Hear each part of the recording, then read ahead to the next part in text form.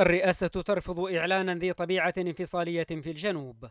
إجراء متوقع في ظل المحاولات المستميتة لإرباك المشهد في اليمن ومحاولة إغراقه بمشاريع صغيرة تحت واقع الحرب والخطر المتنامي لإيران ومنظومتها العسكرية والطائفية في المنطقة. يستمر الجنوب في الشراكة مع التحالف العربي في خل البيان الذي تلاه عيدروس الزبيدي من أي إشارة للسلطة الشرعية على نحو دفع إلى الاعتقاد بأن مجلسا كهذا ينسف الشرعية ويستهدفها بالقدر الذي يستهدفها الانقلابيون ويقفون في وجهها بالتمرد والسلاح.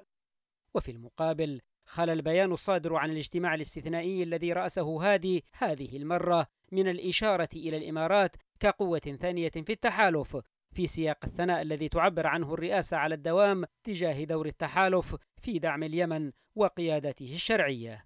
بل دعا بوضوح إلى وحدة الهدف الذي لأجله قامت عمليات التحالف العربي بإنهاء الانقلاب واستعادة الدولة وبسط سلطاتها على كافة التراب اليمني والسير في تنفيذ مخرجات الحوار الوطني نحو بناء اليمن الاتحادي الجديد. بيان الرئاسة دعا كل المسؤولين وغيرهم ممن وردت أسماءهم فيما يسمى المجلس الانتقالي الجنوبي بإعلان موقف واضح وجلي منه.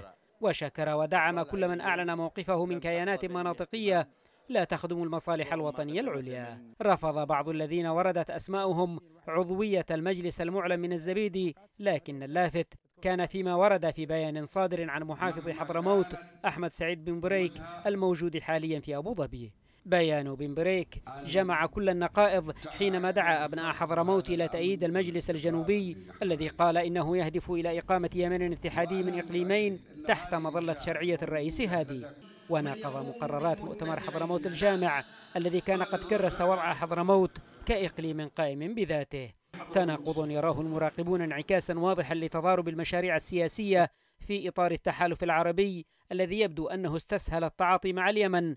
لا باعتباره دولة يجب أن تتعافى بل رجل مريض يمكن أن تتضمن بعض وصفات العلاج الممنوحة له إعادة تقسيمه إلى كيانات قابلة للاحتواء والتطويع.